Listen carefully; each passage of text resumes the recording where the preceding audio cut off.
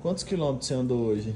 Vou te falar a verdade, eu acho que hoje eu andei uns, uns 20 quilômetros mais ou menos. 20 quilômetros de bike? Mas eu vou te falar a verdade, fiquei uma semana, um, uma ou duas semanas.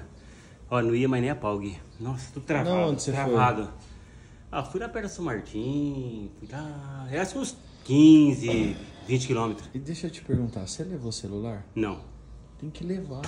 Eu tenho medo, Gui. Como é que você sai sem Eu celular? tenho medo, porque a região aqui é muito violenta. Então, Então, o pai tem mas medo. pega um celular, vamos comprar um celular baratinho, você leva porque Só pra ligar, né? é só pra Ca- ligar. Caso aconteça alguma coisa, né? Hum. Eu pensei nisso, Gui, mas eu tenho- o pai tem muito medo. Essa região nossa aqui tá muito É, esquisita. leva na, na, na, na- na- Mas quando você for, o pessoal que anda de bike aqui fala.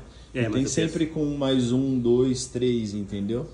Aí você tá indo sozinho, é perigoso. Ah, porque eu, du- eu achei que o Du ia, o Du não foi, né? O Du veio tomar café, Du que veio hora tomar que café? você saiu? Então. Quantos eu- quilômetros? O eu acho que deu um- de 15 a 20 E quilômetros. você ó. mandou arrumar Só a que bike? faz duas eu mandei. Só que faz duas semanas que eu não ando. Nossa, Guilherme, eu tô só o pó da rabiola. O que o pessoal fez na bike? Não, trocou só o pneu. Trocou o pneu, É, mas o você pneu. mandou engraxar? Não, eu, eu que engraxo. Tem a graxinha ali, eu engraxo. Bicho, a bicicleta tá boa, a bicicleta. É. Só que não vai comparar com uma bicicleta igual a do Du, né, Gui? É diferente, né? O conforto é diferente. Mas foi e voltou, não foi? Lógico, vai e volta tranquila. Guilherme, onde vai o Camaro, vai o Fusca? Ah. Onde vai a bike do Du, vai a minha. É isso aí. Um pouco sofrido, mas vai.